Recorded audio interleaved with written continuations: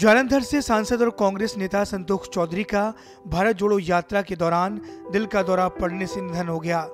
संतोष चौधरी राजनीतिक परिवार से आते थे और वो पंजाब के पहले शिक्षा मंत्री मास्टर गुरबंता सिंह के बेटे थे।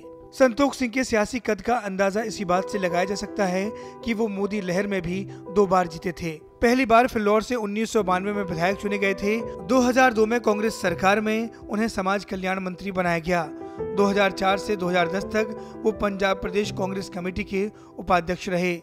वहीं 2014 और 2019 में ज्वालंधर लोकसभा से लगातार सांसद चुने गए।